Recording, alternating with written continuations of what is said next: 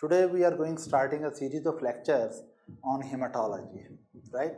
And we'll start with the red blood cells, especially the most common investigations which are done in cases of anemias or polycythemias, right? So let's start discussing about red blood cells and related investigations. The important terms which you are supposed to know, right? The important terms, medical terms which you are supposed to know are number one, you should know what is meant by packed cell volume or it is also called hematocrit. Hematocrit. You should be clear what it is after the lecture. Number two, you must know what is the concept of hemoglobin concentration. Hemoglobin concentration. Number three, you must be clear about red cell count. Right? After the lectures, you must be clear in all these terms which I am writing there. Then you must be knowing what is meant by, yes, you must be knowing what is meant by mean corpuscular volume. Mean corpuscular volume. Okay. Someone is so intelligent, he told that it should be called MCV, mean corpuscular volume. Then you must be also clear about mean corpuscular, yes, very good, hemoglobin, which can also be called MCH, mean corpuscular hemoglobin. Then by the end of the lecture, we should have very clear concept what is meant by mean corpuscular, yes, mean corpuscular hemoglobin concentration. Right, and then we will, that is of course, mean corpuscular hemoglobin concentration, MCHC, right? and then another term which is used now these days that is yes there is one term you will tell me what is RWD yes. Okay RDW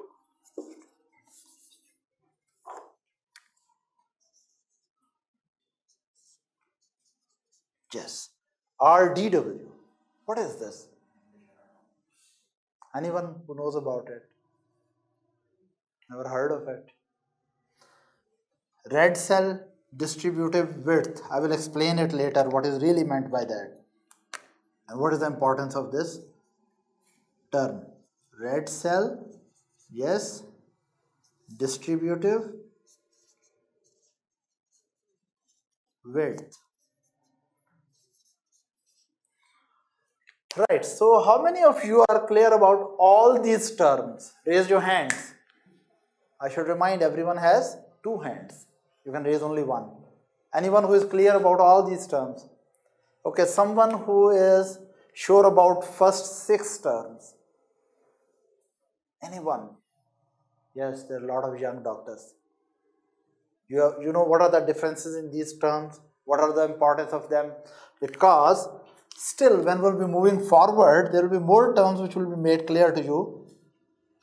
For example, by the end of the lecture, you must be clear about what is meant by microcytic, yes, microcytic corpuscles or red blood cells, microcytic cells, then, yes, normocytic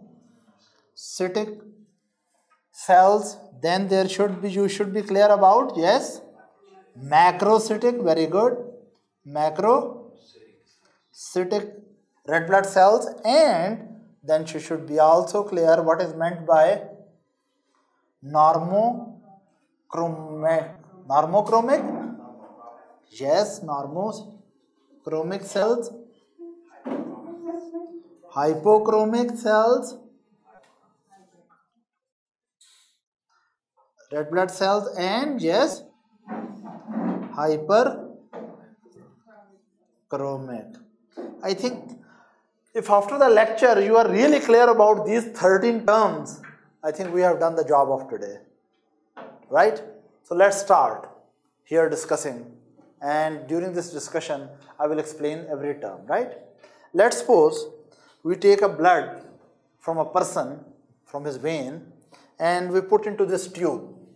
Let's start studying this situation. Suppose this is a container and in this container we take blood from a person and we put blood into this container.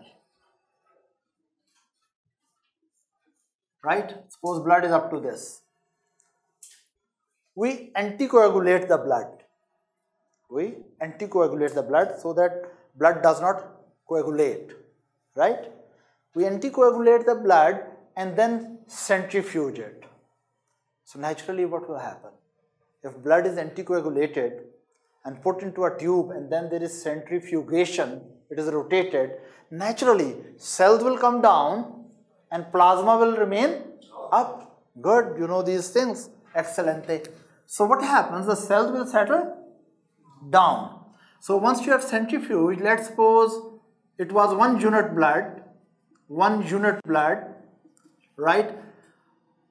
After the centrifugation, when you let the cells settle down in a healthy person, this, uh, this is the area or volume which is occupied by the cells.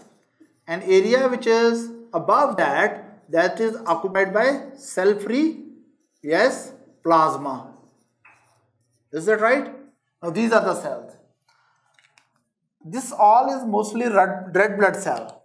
There are some cells here, we call it buffy coat. This is actually a very thin layer which is made by white blood cells, right? And above that, all this is, yes, all this is plasma. We start our concept from very basic. You have taken a blood from a person, anticoagulated the blood, put into a tube, centrifuged it. You have reduced a cell to the bottom and plasma is at the top. Is that right? Now, let us suppose if this was one unit blood, as you know, blood, blood is made of what? It is having plasma in the cells. So naturally, cells are less than one unit. Usually in a healthy person, about 40 to 50% are cells. 40 to 50% of the volume of the blood is occupied by cells and they are mostly red blood cells. Is that right? So we can say that this, out of this one unit, all this is present here. Let us suppose it is 0.45.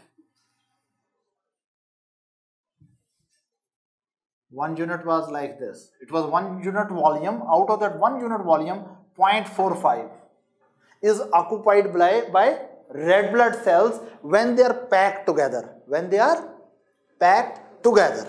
Then we can say 0.45 is the volume occupied by the red blood cells when they are packed within the blood. Let me repeat it. What I'm saying that let's suppose, okay, let's make it one liter. If this is one liter blood, don't remove one liter from anyone. It's just an example. One liter blood with centrifuge and settle the cells. Out of one liter, how much will be occupied by red blood cell?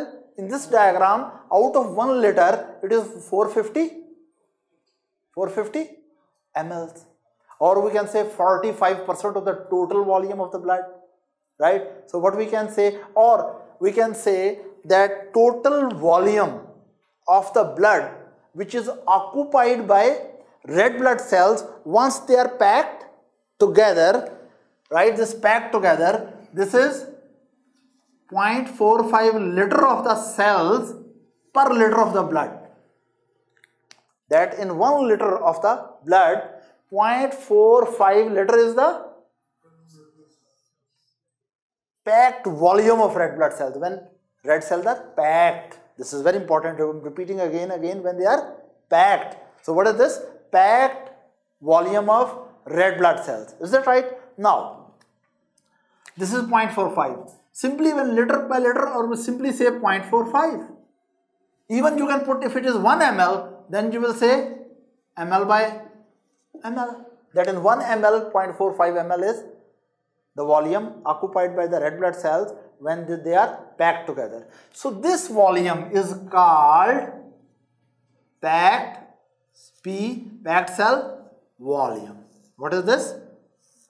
Packed cell volume. For next time when someone say what is packed cell volume PCV he is talking about the volume in the blood occupied by the red blood cells when red blood cells are packed together. Is it difficult? It's so easy. Packed cell volume. Is that right? Okay, thank you for understanding that. Now, some people don't want to call it like, you know, there are always lazy people. They don't want to call it three word packed, cell, volume.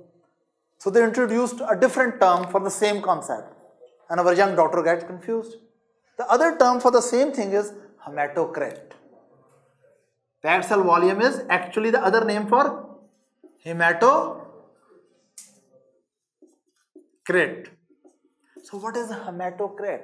If I say my friend has hematocrit 0.4, it means in his blood 40% of the volume is occupied by red blood cell. If I say there is a person who has very severe anemia, I say his hematocrit is 0.3. If I say my friend has, we take a blood sample from a patient and report come, hematocrit is 0.3. You can understand very clearly that in this person's blood, out of one unit, 30% of the volume of the blood is occupied by the red blood cells when they are packed together. That's it. So I hope you are clear about these terms. Okay, thank you for understanding it. Now, I will make it a little more clear because I want to talk about other terms also. So let's suppose I make the container here again.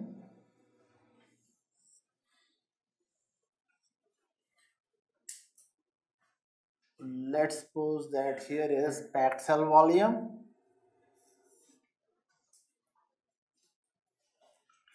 Okay, this was our total blood volume, right? We decided that packed cell volume in our patient was yes 0.45 liter per liter. Is that right?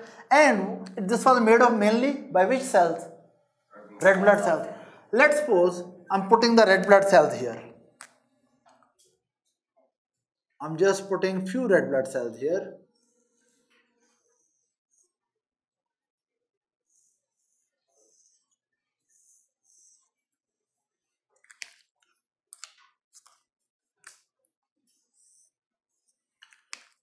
Now I've made only 5 red blood cell in this diagram, right?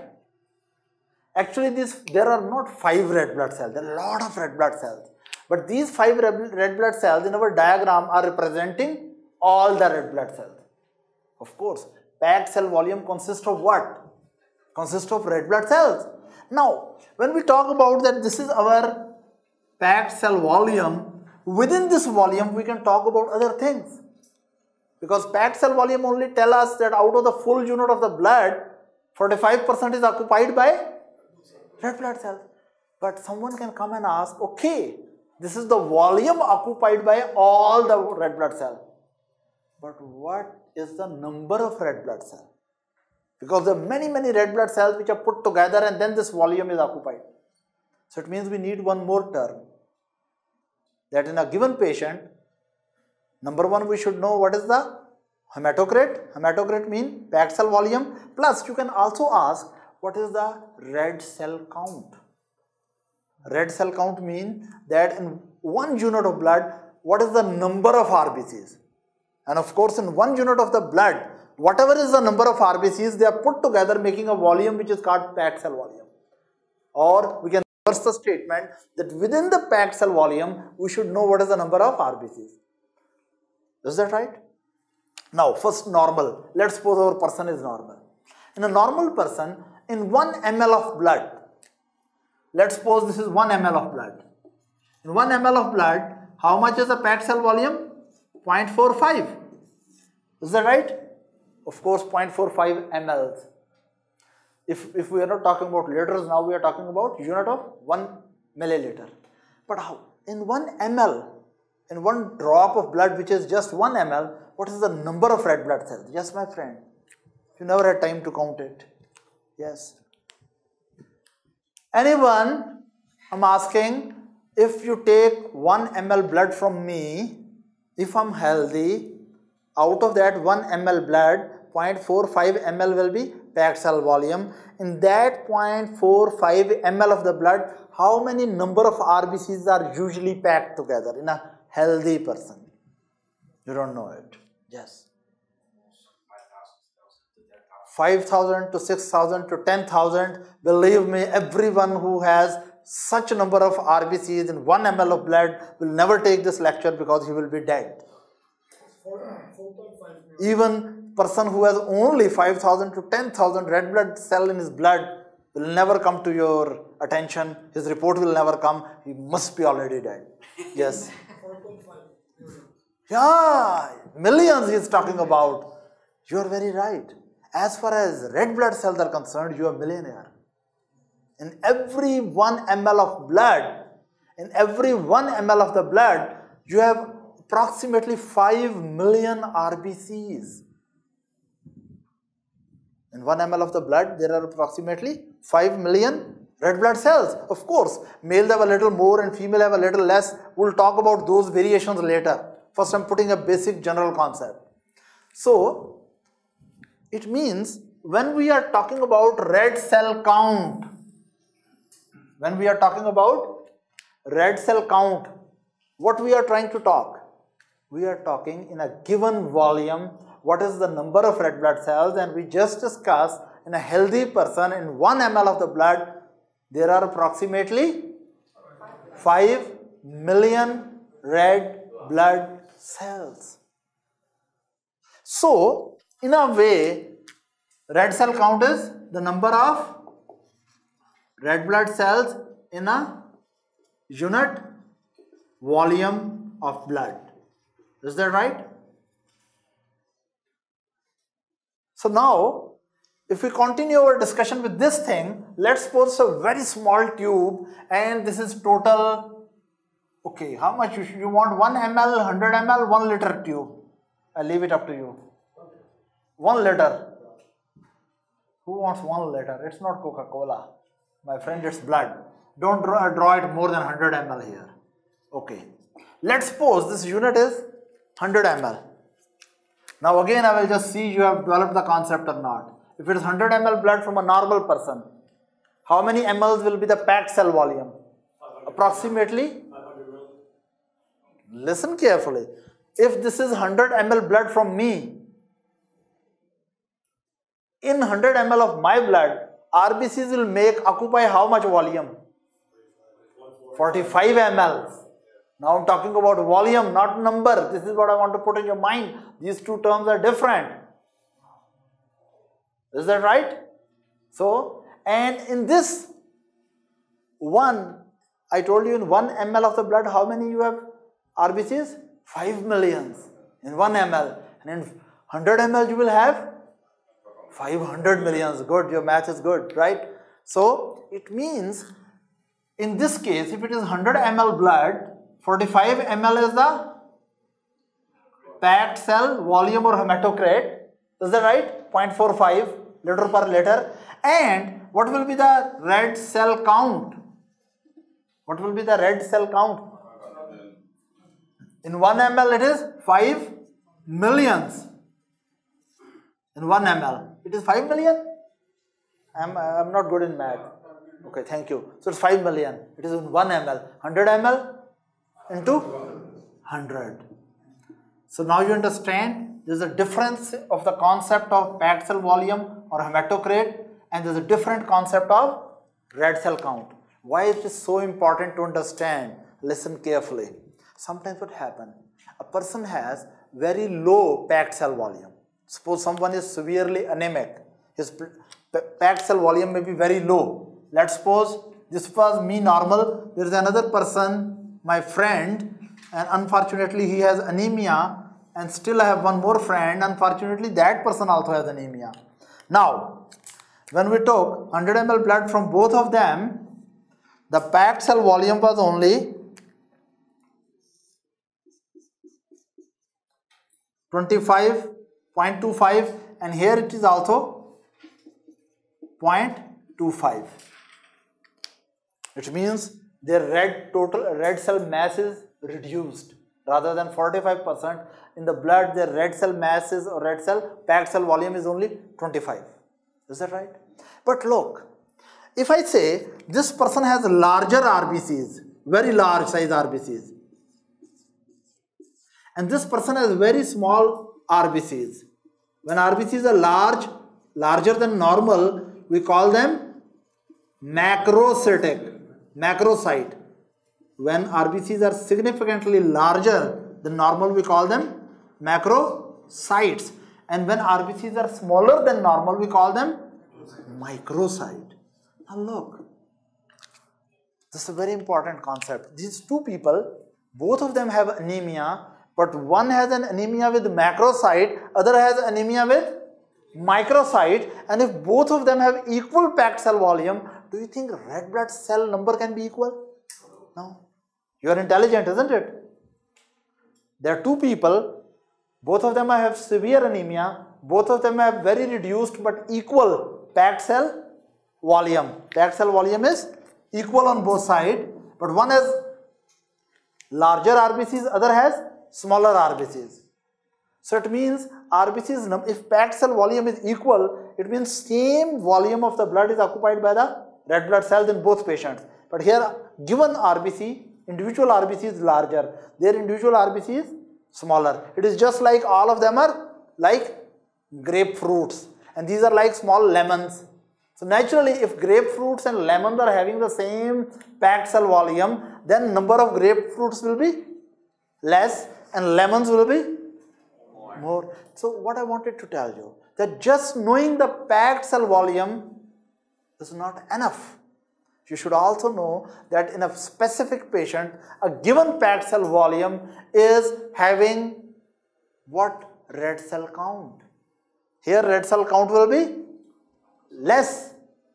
Here red cell count will be more even though hematocrit is equal. Am I clear? No problem.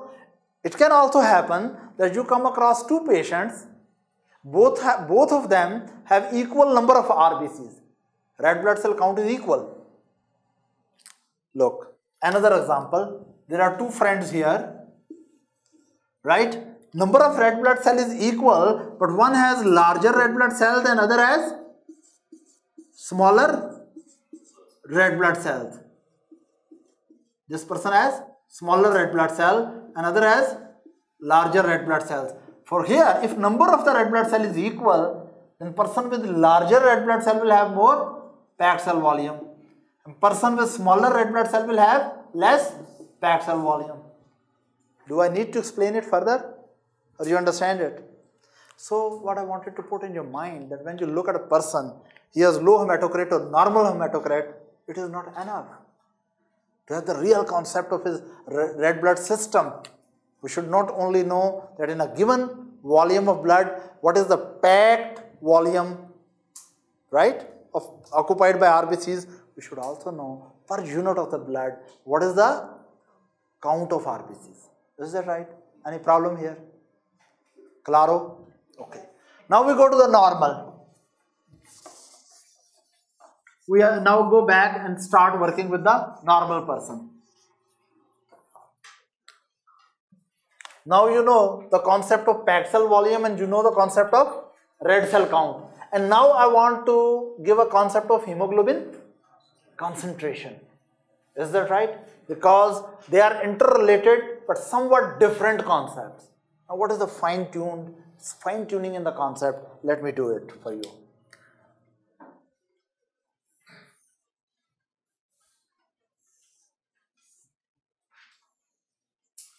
Let's suppose we have taken one unit of blood from a person and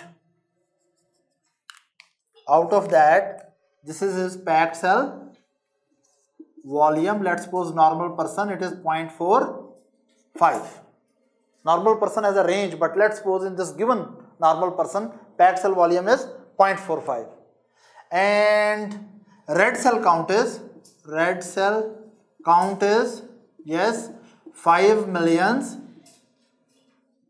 Yes 5 millions per ml is that right? Now I will draw the RBCs here. Just 5 red blood cells here. I think I need to really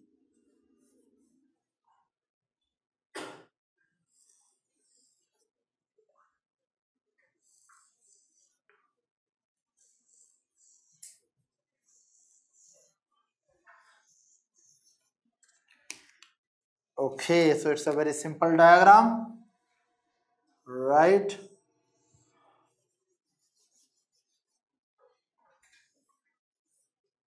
This was a tube and plasma is up to here. It was 100 and here it was 45. Is that clear? Now, these are, of course, in such amount of blood, there are not 5 RBCs. Actually, I have drawn in the diagram 5 RBCs which are representative of all RBCs. For example, if it is 1 ml, then there should be 5 million RBCs, then 1 RBC is representing 1 million red blood cells, right? Now look, within these RBCs, there is hemoglobin. Let I take one RBC and put it here. This is one red blood cell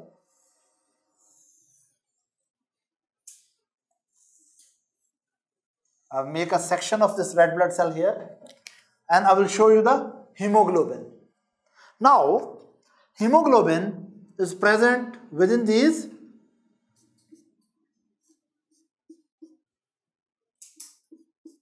red blood cells. Every red blood cell has some hemoglobin. Is that right? Now, when hemoglobin is present over here, so naturally all these red blood cells are the bags of hemoglobin. Red blood cells do not have any nucleus.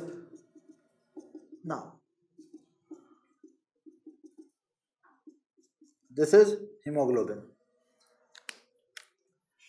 Now, actually, red blood cells are not 100% full of hemoglobin. This is very important. Red blood cells are not, red blood cell is a bag of hemoglobin, but this bag is not 100% full about one third of it is loaded with hemoglobin. Is that right? So it means why normally a red blood cell fluid has only one third of it full of hemoglobin because this is the maximum metabolic capacity of cells to make the hemoglobin in a given RBC. So usually when RBC synthesis is normal, the maximum amount of hemoglobin which can be packed during the erythropoiesis. The maximum amount of hemoglobin which can be packed in one red blood cell is about one third of its volume. It means one RBC is one third full of what? Hemoglobin. Is that right? Now we come back. Packed cell volume you know. Red cell count you also know. Is that right? Now I will repeat the things. In a given unit of blood, all volume occupied by the red blood cell once they are packed is packed cell volume or hematocrit. And in a given unit of blood, the total number of RBC is called red cell count. But we did not talk about hemoglobin. Every red blood cell is having hemoglobin. Sometimes we talk that in one unit of blood, what is the total percentage of hemoglobin. For example, if it is 100 ml blood, we took from patient up to here was 100 ml blood. Then there were 45 ml volume occupied by RBCs. Hemoglobin is present within the red blood cells. Can hemoglobin be more than the total volume of red blood cells? No, of course not. So it means whatever is packed cell volume, hemoglobin has to be less than that. And I told you in a healthy person, when there is healthy erythrop normal, good erythropoietic process is going on, usually a normal red blood cell can be maximum packed with hemoglobin up to equal to its 33% of its total volume. Now,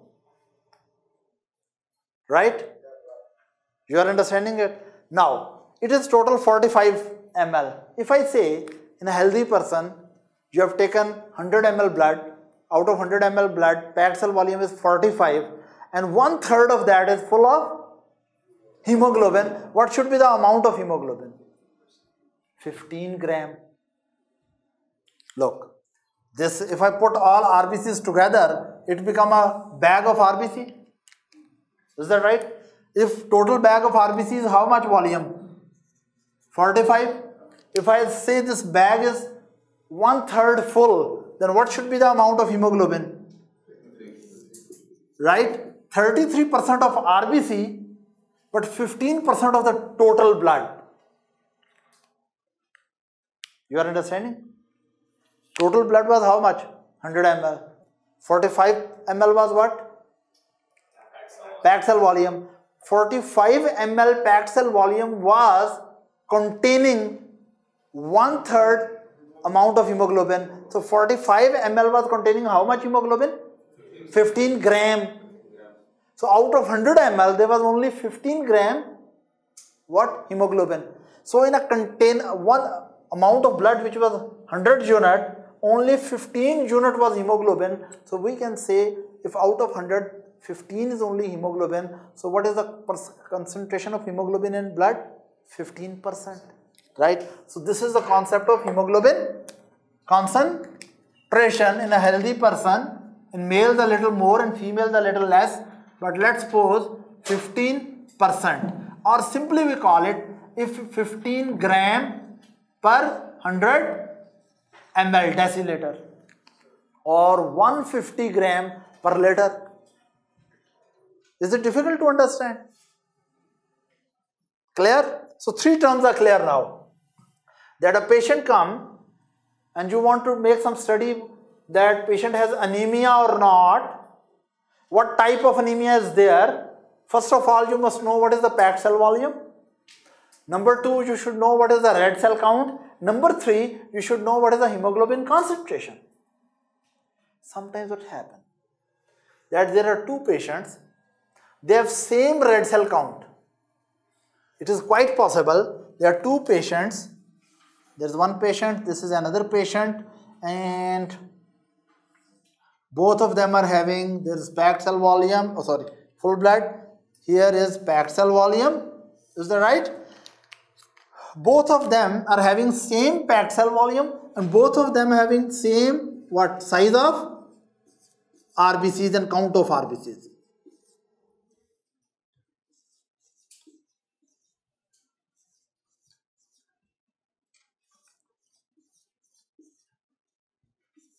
Now, in both cases, packed cell volume is same. In both cases, in both cases, RBC count is also same. But here RBCs are less juicy. They are under hemoglobinized. They are having less hemoglobin per RBC. And let's suppose their RBCs are very, very juicy. Yeah. They are like oranges. Very, very juicy here. Right? Well hemoglobinized RBCs. Now, packed cell volume is same. Red cell count is same but do you think hemoglobin concentration can be same? So it means that is an independent variable. You should not know that what, number one, you should know in a given person, what is the total volume of the blood occupied by red blood cell. Secondly, you should know in a given volume, what is the number of RBCs. Then you should know what is the juiciness of RBC, mean how well or how poorly they are hemoglobinized. Is that right? So when we talk about this juiciness of RBCs, is that right? We are talking about content of hemoglobin, right? So, in all, it is quite possible that there are two patients, both of them have packed cell volume 0.4. Both of them have red cell count 5 million per ml. But one has hemoglobin 15 gram, other has hemoglobin 12 gram. So in one case, there is better hemoglobinization per RBC. In second case, there is poor hemoglobinization per RBC. It means in first case, hemoglobin was 15 gram. In second case, hemoglobin was 12 grams. You're understanding it? So we should have three basic study when someone come to you and we start talking about RBCs and hemoglobin business. Number one, what is the packed cell volume? Number two, this packed cell volume is how well packed with what number of RBCs. Then, what is the hemoglobin concentration given amount of blood, right? So now we will have a break. I hope you are clear about these three terms. These are three basic terms. Once you know these three basic concept about a given patient, then you can derive these concepts, all these. I will talk about them after the break.